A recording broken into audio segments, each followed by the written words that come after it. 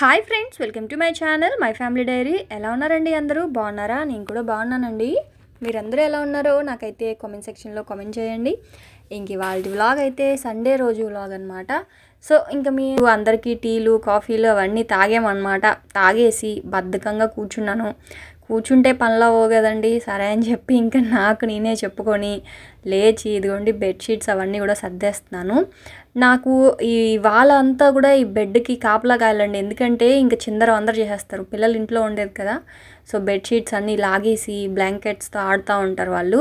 నాకు ఒక్కసారి బెడ్ నీట్గా సర్దిన తర్వాత ఎవరైనా లాగేస్తే చాలా కోపం వచ్చేస్తుంది. అంటే నాకు ఫాస్ట్గా కోపం తెప్పించాలి అంటే ఇది ఒకటి అనమాట బెడ్ మీద ఉండే బెడ్షీట్ లాగేసిన తినే అన్నం కానీ లేకపోతే టీ కాఫీ ఏదో ఒకటి తినేది కింద గచ్చు మీద వంపేసిన నాకు వెంటనే ఇలా వచ్చేస్తుంది అనమాట కోపం అనేది. ఇంక మా ఆయన అయితే ఎందుకు నీకంత షార్ట్ టెంపర్ అంటావు అంటే అంటే కొన్ని విషయాల్లో మాత్రమే అనమాట సో ఇంకా అలా అవన్నీ బెడ్షీట్స్ అవన్నీ సర్దేశాను. ఇంకా వంటగదిలోకి వస్తే ముందు రోజు సినిమాకి వెళ్ళామండి సినిమాకి వెళ్ళే హడావిడిలో ఈ సామాన్లు అవన్నీ సర్దడం వదిలేశాను. అంటే మర్చిపోయాను. అంటే సినిమాకి టైం అయిపోద్దేమో అని ఇంకా ఆ హడావిడిలోనే మామూలుగా అయితే ఈవినింగే ఈ సామాన్లన్నీ సర్దేసుకుంటాను ఫోర్ ఓ క్లాక్కి ఫైవ్కి అలాగా. ముందు రోజు ఈవినింగ్ సినిమాకి వెళ్ళడంతో ఇంకా అవి తెచ్చి పెట్టేశాను కానీ సర్దలేదనమాట ఇంకా సినిమా నుంచి వచ్చిన తర్వాత ఇంకా అలసిపోయి ఉంటాం కదా ఇంకా అస్సలు ఏం పని చేయను. నేను ఒక్కసారి బయటికి వెళ్ళి వస్తే ఇంకా అసలు ఏం పని చేయను. ఇంకా అలా నిన్నంతా సాటర్డే రోజు బద్దకించి అలా ఇవన్నీ సర్దలేదు. సో ఇంక అందుకని చెప్పేసి ఇవన్నీ సర్దేస్తున్నాను. నేను రెండు టబ్బులు పెట్టుకుంటానండి. ఒక టబ్ ఏమో సామాన్లు వేయడానికి అవి మామయ్య ఇప్పుడు మేడ మీద పెట్టేశారనమాట సో మామయ్య పైన పెట్టేస్తే మా మేడ్ వచ్చి కడిగేస్తుంది. ఆ తర్వాత ఇంకొక టబ్ ఏం చేస్తానంటే ఇప్పుడు ఒకటి మేడ మీద పెట్టాను కదా ఇంక ఇప్పుడు ఇంకొక టబ్లో ఇప్పుడు టిఫిన్ తిన్నవి ఇంకా ఏమైనా ఇప్పుడు మనం వాడుకున్న గిన్నెలు ఉంటాయి కదా అవి మళ్ళీ అందులో పెడతానమాట ఒకటి క్లీనింగ్కి వెళ్తే ఇంకొకటి మళ్ళీ వాడుకుంటూ ఉంటాను. సో అలా రెండు టబ్బులు అనమాట అవి ఇంటి దగ్గరికి వస్తే తీసుకున్నానండి హండ్రెడ్ రూపీస్ అనమాట ఆ టబ్బులు. యాక్చువల్గా చెట్లు వేద్దామని చెప్పి తీసుకున్నాను. కాకపోతే ఇలా సామాన్లకి వాడుకుంటూ ఉన్నాను అనమాట సో సామాన్లు అన్నీ సర్దేశాను అనుకోండి కొంచెం వంటగది ఫ్రీ అవుతుంది ఖాళీగా అనిపిస్తుంది. లేదంటే ఆ సామాన్లు అవన్నీ కాళ్ళకి చేతులకి తగులుతూ ఉంటాయి కదా. సో ఇంక సామాన్లు అన్నీ కూడా సర్దేశాను. మెయిన్ ఏంటంటే ఇలా టబ్లో పెట్టుకోవడానికి రీజను షింక్ క్లీన్గా ఉంటుందండి. మనం ఏది కావాలంటే అప్పుడు ఇప్పుడు ఏదైనా వెజిటేబుల్స్ క్లీన్ చేయాలన్నా లేకపోతే దేనికైనా సరే షింక్ అనేది క్లీన్గా ఉంటే బాగుంటుంది కదా అని. ఇంకా అలా ఇంకా మా వారేమో ఇంకా టీ ఉంది ఆల్రెడీ తాగేసాం టీ ఫస్ట్ టీ ఉంది కదా ఇంకొంచెం ఇవ్వు అని చెప్పేసి అన్నారనమాట సో సెకండ్ టైం కూడా తనకైతే టీ ఇచ్చేసాను. టీ ఇచ్చేసి ఇంక ముందు ఫ్రెష్ అవ్వండి టిఫిన్ పెడతాను అని చెప్పేసి ఇంక ఇదిగోండి శనగలు. యాక్చువల్గా శనగలతో దోశ వేస్తానండి నేను. అయితే నిన్న ఏమైందంటే బియ్యం అందులో వేయడం మర్చిపోయాను. అంటే ఓన్లీ శనగలు నానేసాను కానీ అందులో బియ్యం వేయడం మర్చిపోయాను. కొన్ని బియ్యం వేస్తానమాట వేయడం మర్చిపోయాను. ఇంకా దోశ పిండి లేదు. అందుకని శనగలతో వడలు అయితే వేసేస్తున్నానండి. సో ఏం వేసానంటే మిక్సీలో నానబెట్టుకున్న శనగలు ఒక మూడు పచ్చిమిరపకాయలు ఒక హాఫ్ స్పూన్ అల్లం వెల్లుల్లి పేస్ట్ జీలకర్ర ఉప్పు అంతే. అవన్నీ వేసేసి బాగా మిక్సీ చేసుకోవాలి. ఇక్కడ ఏంటంటే నేను ఇప్పుడు మార్నింగ్ బ్రేక్ఫాస్ట్లోకి చేస్తాను కాబట్టి గారెలు కొంచెం మెత్తగా చేస్తాను. అంటే క్రిస్పీగా కాకుండా కొంచెం సాఫ్ట్గా చేస్తాను అనమాట అదే ఈవినింగ్ టైంలో చేసేటప్పుడు మాత్రం కొంచెం కచ్చాపచ్చాగా మిక్సీ చేసుకొని కొంచెం క్రిస్పీగా చేస్తాను. సో అంటే మార్నింగ్ క్రిస్పీగా నవలాలి అంటే కొంచెం చిరాగ్గా ఉంటుంది కదా. అందుకని కొంచెం సాఫ్ట్గా అంటే మెదువడ మనం ఎలా చేసుకుంటాం? సాఫ్ట్గా పిండి రుబ్బేసుకుంటాం కదా అలాగైతే రుబ్బేసుకున్నాను. కానీ అండి మనం మామూలుగా మసాలా వడలు వేసుకుంటాం కదా దానికంటే కూడా చాలా బాగుందండి. ఇంకా శనగపప్పు వడల కంటే కూడా ఈ వడలు చాలా మంచివి కదండి. అంటే శనగలు అవి పొట్టు తీయకుండా అలా రా శనగలు అవి నల్ల శనగలు అంటాం కదా. సో అవి. ఆ తర్వాత కొంచెం సాల్ట్ను ఇవి ఉంటాయి కదండి ఆనియన్స్. సో సన్నగా తరిగి పెట్టుకున్న ఆనియన్స్ కూడా కలిపేసి ఇంకా గారెలు అయితే వేసేస్తున్నాను. ఒకటి చేద్దాం అనుకొని ఇంకొకటి అయ్యిందన్నమాట. అంటే మీరు ఎప్పుడైనా ఇలా చేసినప్పుడు మీకు కూడా పనిచేస్తుంది కదా అని చెప్తున్నాను అంతే. దోశ వేయబోయి అవి కాస్త గారెలు అయ్యింది. ఒక్కొక్కసారి అంతే కదండి ఎవరైనా బద్దకిస్తాము. సో మూడు వందల అరవై ఐదు రోజులు అందరికీ అన్ని విషయాల్లో యాక్టివ్గా ఉండలేం కదా మనం. సో అప్పుడప్పుడు అలా అవుతూ ఉంటాయి. అలా అయినప్పుడు ఇలా వాటిని మనం ఏం చేయాలా అని చెప్పి ఆలోచించకుండా అంటే ఇలాగా చేసుకోవచ్చు అనమాట సో నేనైతే దోశలు కాస్త ఇవాళ మా ఇంట్లో బ్రేక్ఫాస్ట్ గారెలు అయినాయి దీంతో పాటు చికెన్ కర్రీ కానీ అయి ఉంటే చాలా బాగుండేది. మా మామయ్య చాలా ఇష్టంగా తినేవాళ్ళు. కాకపోతే ఇంకా ఇంకా ఇప్పుడే లేచారు అందరూ ఫ్రెష్ అవ్వమని చెప్తున్నాను. ఇంక ఇంత పొద్దున్నే చికెన్ ఎక్కడి నుంచి వస్తుంది? సో ముందు రోజు నేను టమాటో చట్నీ చేశాను. సో మీకు ఇదివరకు వీడియోలో పోస్ట్ చేశాను కదా టమాటా చట్నీ. ఈ మధ్య మా ఇంట్లో పల్లి చట్నీ కంటే టమాటా చట్నీకి ఎక్కువ ఫ్యాన్స్ అయిపోయారు. అమ్మ టమాటా చట్నీయే చేయంటా ఉన్నారనమాట ఇంకా అందుకని చెప్పి ఆ చట్నీ ఉంది. ఇదిగోండి. ముందు రోజే కొంచెం ఎక్కువ చేసి పెట్టేసుకున్నాను. సో దోశలు వేస్తాం కదా పల్లి చట్నీ ప్లస్ ఈ టమాటా చట్నీ రెండిటి కాంబినేషన్ బాగుంటుంది అనమాట అయితే ఇంక దోశలు వేయలేదు కదా అని చెప్పి ఇంక పల్లి చట్నీ క్యాన్సిల్ చేసేసి ఇంక ఈ టమాటా చట్నీతోటే టిఫిన్ అయితే పెట్టేశాను. ఇంకెలా రెండిటి కాంబినేషన్ బాగుంటుందండి. టమాటా చట్నీ ఎలా చేయాలంటే టమాటాలని ఓన్లీ టమాటాలు ఉడికించేసి అందులో ఒక నాలుగైదు వెల్లుల్లి రెబ్బలు కొంచెం జీలకర్ర కొత్తిమీర వేసి ఉడికించేసి సాల్ట్ వేసి మిక్సీ చేసేయాలి. అందులో ఒక స్పూన్ షుగర్ అంతే. టమాటా ఉడికించుకోవడమేనండి. ఉడికించేసిన తర్వాత వెల్లుల్లి పంచదార ఉప్పు జీలకర్ర మిక్సీ చేసేసుకోవడమే. మీరు కావాలి అంటే పోపు పెట్టుకోవచ్చు లేకపోతే లేదు. సో అదనమాట ఇంక ఇక్కడేమో టిఫిన్ పెట్టేశాను. ఇంక మా పిల్లలేమో టిఫిన్ తినేసి చల్లగా ఉందండి. ఇవాళ క్లైమేట్ చాలా చల్లగా ఉంది. అయితే ఇంక వాళ్ళేమో ఇదిగోండి సైకిల్. మా చిన్నోడేమో ఆల్రెడీ పడ్డాడట వాడు. ఇంకా యాక్చువల్గా వాడిది చిన్న సైకిల్. వాళ్ళ అన్న సైకిల్ నేర్చుకుందామని చెప్పేసి సైకిల్ బయటికి తీశారు మొత్తానికి ఈరోజు. ఇంక వాడేమో పడ్డాడు. ఇంక అందుకని వాడేమో ఇంటికి వచ్చేసాడు ఇంక వీడేమో అమ్మ వాడికి దెబ్బ తగిలింది చూడు అని చెప్పేసి ఇంక వీడేమో వెళ్ళాడనమాట సైకిల్ వేసుకొని. వాడేమో ఇంక చిన్న బాబు నాకేమంత దెబ్బ ఏం తగలలేదులే అన్నీ నాకు సైకిల్ ఇవ్వట్లేదని వాడు ఏడుపు. అంటే వాడిది కొంచెం చిన్నది. వాడు అంటున్నాడు నేను పెద్దోడిని అయిపోయాను నాకు పెద్ద సైకిల్ కావాలి అని. సరే నీ బర్త్డేకి తీసిస్తాడులే అమ్మ డాడీ అని చెప్పి చెప్పాను. ఇంకా అలా వాళ్ళిద్దరిని కొంచెం ఏమంటారు నెమ్మదిగా పక్కన పెట్టి ఇంకా పైకి అయితే వచ్చానండి బట్టలు ఉతికాను. సో ఇంకా బట్టలు అయితే ఆరేసేస్తున్నాను వర్షం పడుతుందేమో అని ఒకవైపు డౌట్ కానీ నిద్ర లేవగానే మిషన్ వేసేసాను. కొంచెం బట్టలు ఉన్నాయన్నమాట ఎక్కువగా. అందుకనేసి ఆల్రెడీ ఇంకో ట్రిప్ కూడా వేశాను. ఇది ఫస్ట్ ట్రిప్ అనమాట సో వర్షం పడితే మాత్రం ఎక్కడ తడిచిపోతాయా అని టెన్షను. సరే పడితే పడిన తర్వాత చూద్దాంలే అని చెప్పి ఇంక బట్టలు అయితే ఆరేస్తున్నాను.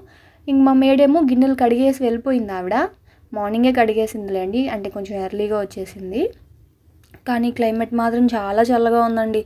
ఎండాకాలంలో ఇలా ఉంటే అబ్బా ఎంత బాగుంటుందా అనిపిస్తుంది. ఎందుకంటే ఎండలు చాలా దారుణంగా ఉన్నాయి. సో ఇంకా ఇదిగోండి బట్టలు అన్నీ కూడా ఇంక ఇలాగ ఆరబెట్టేశాను. ఆ తర్వాత ఇంక ఇప్పుడైతే కిందకి వెళ్తున్నానండి. కిందకి వెళ్ళి ఇంకా మళ్ళీ వంట చేయాలి. సో మీరు సండే రోజు ఏం స్పెషల్స్ చేసుకున్నారో నాకైతే కామెంట్ సెక్షన్లో కామెంట్ చేయండి. సో ఇంకా మా వారైతే ఈ లోపల చికెన్ తీసుకొచ్చారనమాట చికెను ఎగ్స్ తీసుకొచ్చారు. సో ఇంక ఇవాళ చికెన్ తోటి నేనేం చేస్తున్నానంటే గార్లిక్ చికెన్ చేస్తున్నానండి. వెల్లుల్లి చికెన్ అనమాట చికెన్ ఫ్రై అది. బాగా రోస్ట్. ఇంకోటి రెగ్యులర్గా చేసే చికెన్ కర్రీ అయితే చేసేస్తాను. సో రెండు పూటలకి సరిపోతుంది కదా మళ్ళీ నైట్కి ఎవరు వండుతారులే అని చెప్పి. సో ఇంక ఇక్కడేమో మా వారు ఎగ్స్ ఏమో రెండు రకాల ఎగ్స్ తెచ్చారు. బ్రౌన్ ఎగ్స్ ఉంటాయి కదా అవి తెచ్చారనమాట అవి చాలా పెద్దవిగా ఉన్నాయి. మామూలు వైట్ గుడ్లు కాకుండా ఇదిగోండి గుడ్లు కొంచెం పెద్దవిగా ఉన్నాయి. ఏదో బలం ఏదో వచ్చేస్తుందని చెప్పేసి పెద్ద గుడ్లు తెచ్చారు కానీ నాకు అస్సలు నచ్చలేదండి. మామూలుగా కూడా నాకు ఎగ్ స్మెల్ అనేది అస్సలు నచ్చదు. కాకపోతే ఇంక ఈ మధ్య అప్పుడప్పుడు ఎప్పుడైనా తింటున్నాను. ఇంక ఈ గుడ్లు చూశాక అసలు తినబుద్ధి అవ్వలేదు. దానికి తోడు ఒక రెండు గుడ్లు అయితే పగిలిపోయాయండి లోపల. ఇదిగోండి. ఇంక మా వారిని ఏమో ఎందుకు ఇలా తెచ్చావంటే నీ చిన్న కొడుకి అలా పట్టుకున్నాడు. వాడు సరిగా పట్టుకోలేదు ఆ గుడ్లు పగిలిపోయాయి అని చెప్పేసి ఇంక తిడతా ఉన్నారనమాట ఈ ఎగ్స్ ఏమంటారో నాకు తెలియదండి ఇంక అక్కడ ఉన్నాయని చెప్పి తెచ్చారంట మా వారు. ఇవి ఒక హాఫ్ డజను అవి ఒక హాఫ్ డజను తెచ్చారు. సో ఇంకా ఎగ్స్ అయితే పక్కన పెట్టేశాను చికెన్ అయితే క్లీన్ చేసేస్తున్నాను. ఇదేంటంటే చికెన్ని కొంచెం ఫ్రై చేస్తాను కొంచెం కర్రీ చేస్తున్నానండి. అంటే నాకు వెల్లుల్లి వేసి చేసింది చాలా ఇష్టం అండి. మనం రసంతో కానీ పప్పు చారుతో కానీ చేసుకొని తింటే భలే ఉంటుంది. సో ఇవాళ మీకు చేసి చూపిస్తాను. చాలా సింపుల్ చేసేసుకోవడం అయితే. ఇంక ఇదిగోండి ఇంక చికెన్ అంతా అయితేనండి చికెన్ తెచ్చిన వెంటనే కడిగేసి సాల్ట్ వేసి పెట్టేసామనుకోండి మనం వంట చేసేటప్పుడు కొంచెం లేట్ అయినా పర్లేదు కానీ చికెన్ ఉప్పేసి కనుక పక్కన పెట్టేస్తే అది నానుతుంది కదా దానివల్ల ఏమవుతుందంటే చికెన్ అనేది చాలా త్వరగా ఉడికిపోతుంది చాలా సాఫ్ట్ అయిపోతుందండి. ఇదిగోండి చూస్తున్నారు కదా మా షింక్ ఎంత ఖాళీగా ఉందో. అంటే టిఫిన్ తిన్న గిన్నెలు అవన్నీ కూడా పక్కన టబ్లో వేస్తానులేండి అందుకని షింక్ ఖాళీగా ఉంటుంది అనమాట ఇదిగోండి ఇందుకు వెజిటేబుల్స్ ఏదైనా కడగాలన్నా నాన్ వెజ్ కడగాలన్నా వెంటనే షింక్ కూడా క్లీన్ చేసేయచ్చు. అదే సామాన్లు ఉన్నాయనుకోండి షింక్లో మనం ఇలాంటివి ఏదైనా కడిగినప్పుడు షింక్ కడగడానికి ఇబ్బంది అవుతుంది కదా. అప్పుడు ఆ గిన్నెల మీద అంతా కూడా ఈ నీచు నీళ్ళు అవన్నీ పడతాయి ఇబ్బందిగా ఉంటుంది. సో అందుకని సపరేట్గా టబ్బు పెట్టుకొని ఆ సామాన్లు అందులో వేస్తున్నాను. సో ఇంక ఇక్కడేమో కళాయిలో ఆయిల్ వేసేసాను. ఒక ఫోర్ స్పూన్స్ ఆయిల్ వేసానండి ఇది చికెన్ కర్రీకి. అలాగే హాఫ్ కేజీ చికెన్ తీసుకున్నాను. హాఫ్ కేజీ చికెన్కి ఒక త్రీ ఆనియన్స్ అండి. టమాటా వేయట్లేదు. ఓన్లీ ఆనియన్ని చాపర్లో వేసేసుకున్నాను. ఒక స్పూను కసూరి మేతి వేసుకొని సన్నగా తరిగిన ఆనియన్స్ వేసేసాను. అవి బాగా వేగాలండి. ఇక్కడ ఏంటంటే ముప్పావు కేజీ చికెన్ తెచ్చారనమాట ఒక పావు కేజీ వెల్లుల్లి చికెన్ లాగా చేసుకుంటున్నాను. సో మీకు ముందే చెప్పాను కదా చికెన్ని కడిగేసి సాల్ట్ వేసి పెట్టేసుకున్నాను. అన్ అంతే. వెల్లుల్లి చికెన్లో ఇంకా అల్లం వెల్లుల్లి పేస్ట్ వేయకూడదు. వెల్లుల్లి కారం వేసి చేస్తాను. సో ఇప్పుడు ఆయిల్లో చికెన్ వేసేసాము. ఆల్రెడీ అందులో సాల్ట్ ఉంది కాబట్టి నేను ఇంకా సాల్ట్ ఏం వేయలేదు. ఇంకా పసుపు. కొంచెం పసుపు వేసి సిమ్లో పెట్టేయండి. చికెన్ బాగా వేగిపోవాలండి.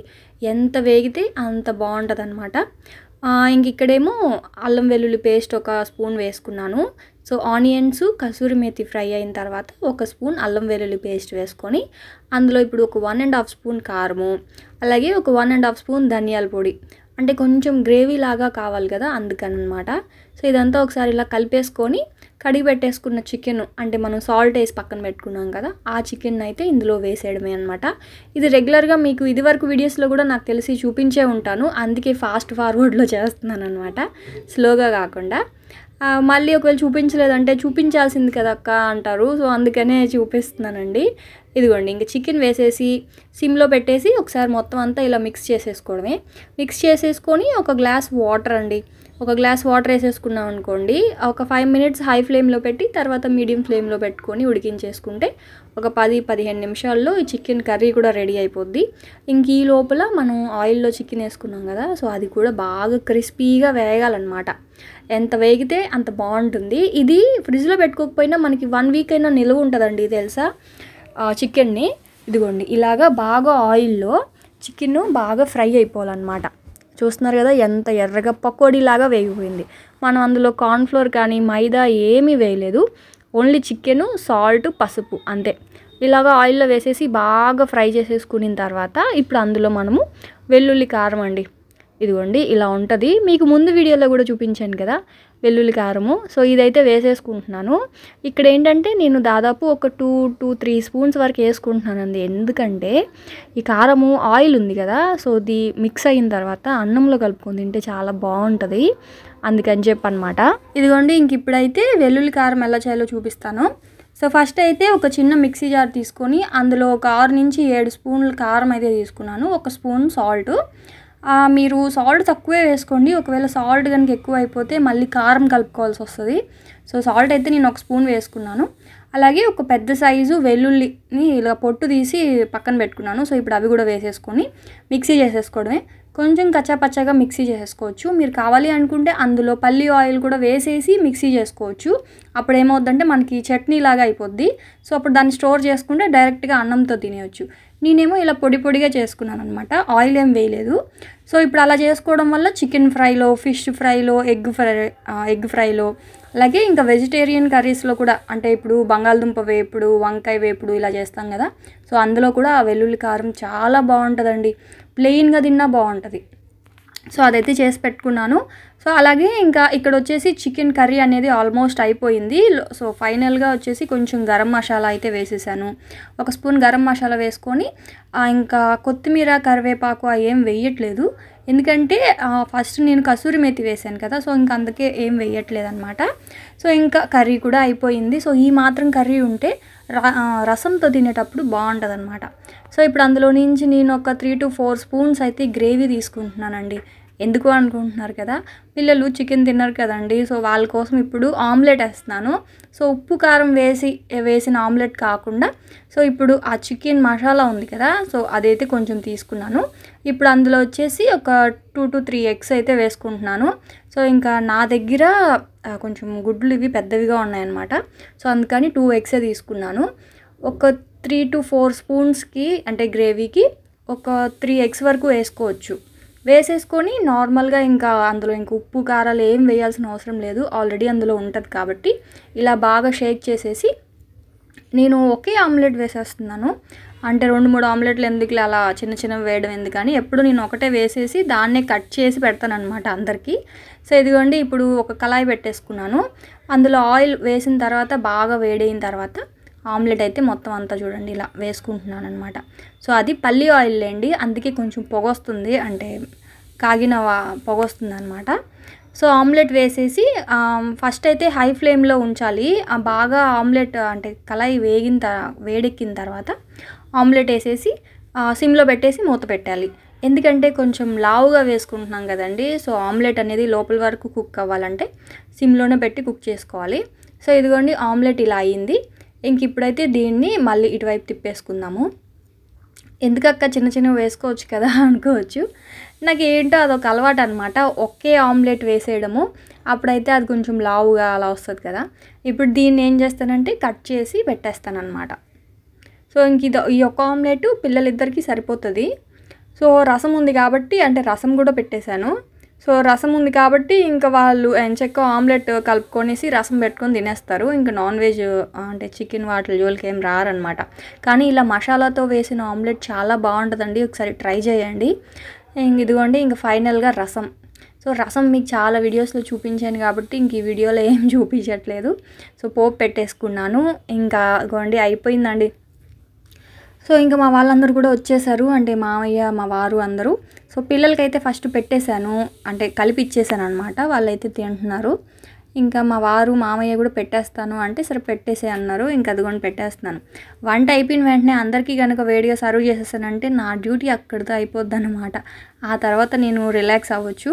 ఇంకా మా మామయ్య ఏమో అదొద్దమ్మా అంతొద్దమ్మా తీసేసేయి అంటా ఉన్నారు సో ఇంకా అది ఎప్పుడు ఆయన అంతే ఏది పెట్టింది ఫుల్గా తినరు అనమాట చాలా తక్కువ తింటారు ఫుడ్ మామయ్య పిల్లలు ఎంత తింటారో అంతే తింటారు మామయ్య కూడా ఎక్కువ తినరు అనమాట సో ఇంక నేనైతే అన్నం పెట్టుకోలేదు సో వెల్లుల్లి చికెన్ ఉంది కదా. సో అదొక్కటే కొన్ని ముక్కలు పెట్టుకొని ప్లెయిన్గా తింటున్నాను.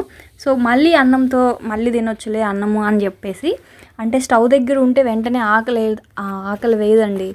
అందుకని చెప్పేసి ఫస్ట్ అయితే ఆ చికెన్ ముక్కలు తినేస్తున్నాను. ఇంక మా వాళ్ళైతే అన్నం తింటున్నారు. సో అదనమాట ఇవాళ మా vlog Sunday morning to afternoon routine vlog అనమాట సో మీకు ఈ వ్లాగ్ ఎలా అనిపించింది ఏంటి అనేది నాకైతే కామెంట్ సెక్షన్లో కామెంట్ చేయండి.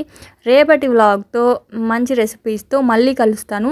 అప్పటి వరకు ఉంటానండి. బాయ్ మరి మీకు ఈ వ్లాగ్లో రెసిపీస్ ఎలా అనిపించాయి అనేది కూడా కామెంట్ సెక్షన్లో కామెంట్ చేయండి.